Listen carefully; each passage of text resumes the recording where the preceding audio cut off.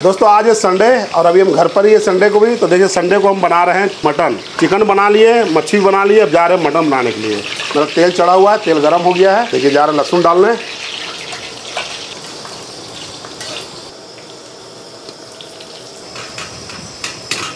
दोस्तों, मेरा प्याज हो चुका है। अब देखिए थोड़ा थोड़ा डाल रहे हैं। धीरे धीरे डाल गए हल्का हल्का भूजते भी रहना है। अब दोनों एक साथ हम भूजेंगे इसको। अच्छी तरह से मिलाएँगे इसको, क्योंकि तेल में इसको भूजना ज़रूरी पड़ता है। दोस्तों जा रहे मसाला डालने के लिए। इसका जितना मसाला होता सारा डाल दे रहे। हैं कलर ही देखिए चेंज हो जाएगा दोस्तों, मेरा मसाला भून चुका है। अब जा रहे इसको कुकर में डाल करके पाँच सीटी लगवाना है।